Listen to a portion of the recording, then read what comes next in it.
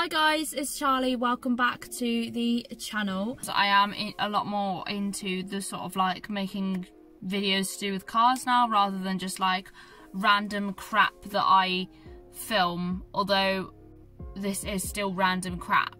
It's whatever. This video is actually to announce to you guys that I have actually got rid of the Clio. I have made like a few videos on the Clio. I thought it would be valid to do an update on the next car I've got, which is definitely an upgrade to the Renault Clio. The Clio was an absolute beast, but but it didn't suck my bank account dry, so I guess there is that to owning a Mark III Clio. The Clio um, has been sold to a young girl family um, as she she's only just passed her test so the Clio is going to be a good first car for her. Hopefully they treat it with respect that Rita that was the Clio's name that Rita deserves. So the new car that I've got now is a R56 Mini Cooper S. Grey. It has the same grille as the JCW R56, I believe. Um, because I know they changed they changed the grills um, between the R53 and the R56. So this car is a 1.6 turbo. I've actually got some power going on in here.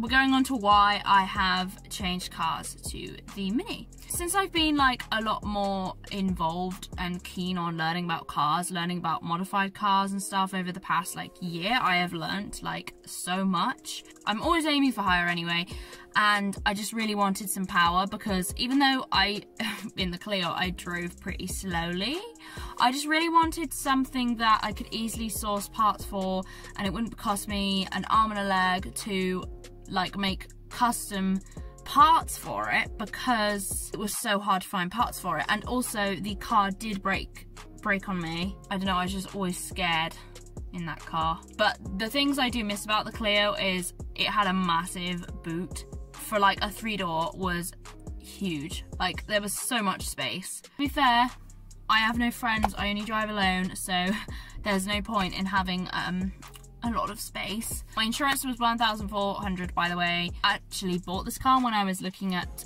loads of R56 minis like this exact same age of these like this is 2007 I was getting quotes for like 600 pounds like 800 pounds with a spoiler on came to the day of insuring it and I don't know why but prices just sky high so or my boyfriend found this mini on Facebook Marketplace and I mainly look on Auto Trader. This was about 40 minutes away from me, really low mileage, like um, the car's on 55,400. Uh, have a look at it and this was the day before lockdown. I insured it for three hours and me and my boyfriend drove it home. We went out with my brother. So much fun. Like the first time driving this car home was like, oh my gosh, I am so proud of myself for saving up all this money. to get the timing chain done and I said to the guy, I said, well, you haven't had the timing chain done. I'm going to have to pay like £500 to get it done. Would you mind knocking it down? And he said, yeah, fine. I didn't realise I'd like this car more, like as much as I as I do now. I, I literally wouldn't even swap it for like an Audi. I will say to you, look forward to seeing videos of future mini mods. Loving the German car life the BMW life, even though my family are a fan, are massive fans of original minis, and they don't believe that this should be called a mini because it's BMW. Comment down below what your thoughts are on that because it's a very big controversial argument. My next video, which will probably be sat right here in the same clothes, same t-shirt as this video, because I'm going to film another video. If you haven't seen enough of the car already on Instagram, then, you know, just look forward to these videos that are coming up.